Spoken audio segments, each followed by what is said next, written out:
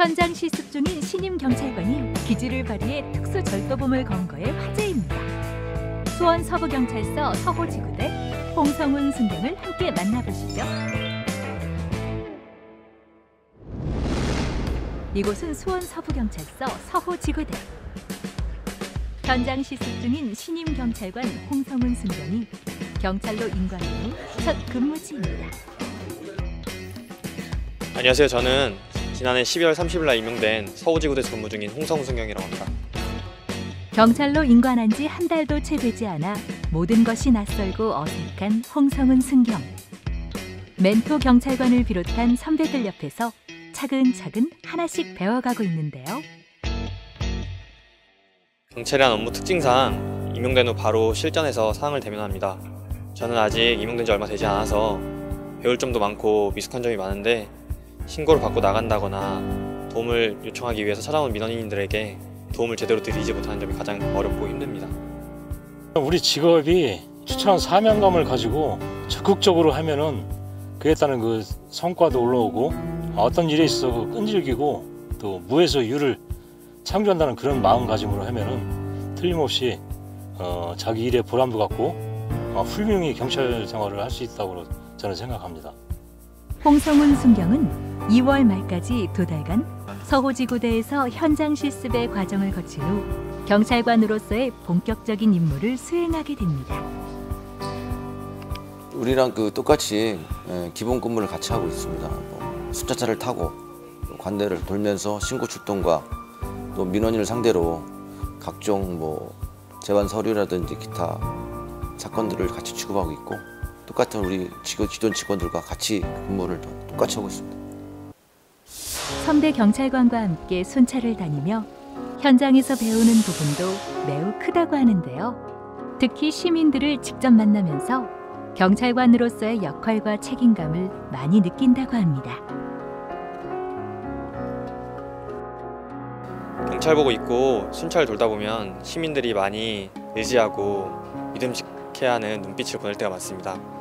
또한 어린아이들이 경찰 아저씨 반가워요 안녕하세요 이렇게 인사하는데 그럴 때마다 제 자신이 자랑스럽고 기분 좋을 때가 많습니다. 지난 1월 12일 홍성훈 순경은 경찰관이 되고 나서 처음으로 특수 절도범을 검거한 경험을 했다고 합니다. 피해자분께서 가방을 두고 왔다는 신고를 받았습니다. 그 신고를 받고 현장에 나가서 피해자분을 만나서 어떻게 잃어버리셨고 어떠한 경로로 이동하셨는지 상황을 듣고 그 현장을 CCTV 분석을 통해 범인을 잡고 피해자 가방을 찾아주었습니다. 현장 CCTV를 꼼꼼하게 분석한 결과 화면 속 희미한 절도범의 차량을 확인했고 이들의 주소지로 이동해 사건 발생 2시간 30분 만에 특수 절도범을 검거할 수 있었는데요. 제 임용하고 나서 첫 사건인 만큼 더욱더 열심히 했는데 범인 통해서 가방을 찾고 그걸 피해자한테 돌려줬을 때 피해자분이 매우 저희에게 고마워하며 도움 많이 받았다 이런 얘기를 들었을 때 매우 뿌듯했습니다. 근데 학교에서 6개월 동안 많은 수업을 들었는데 그 수업 중에 범죄 분석, 사건 파악하는 점을 많이 강조하셨는데 그런 점이 매우 도움이 되었습니다. 아, 우리 홍성훈 순경은 어, 아주 부지런하고 아주 성실하고 그 맡은 바 소임을 잘 할 수 있는 그런 후배로서 저희들이 오히려 그 배우고 있습니다. 우리 후임들이 어, 투철한 사명감과 자기 맡은 바 일에 충실히 한다면 아마 국민들로부터 사랑받는 경찰이 될 것으로 믿습니다. 어린 시절부터 경찰관이 되고 싶었다는 홍성은 승경. 경찰관이라는 꿈을 이룬 지금 경찰관으로서 새로운 꿈을 꾸고 있다고 하는데요. 홍성은 승경님, 현장 실습이 끝난 후 앞으로 어떤 경찰관이 되고 싶나요? 지역 경찰관으로서 항상 시민들 주변에서 근무하며 시민들의 안전을 최우시하는 경찰관이 되도록 하겠습니다.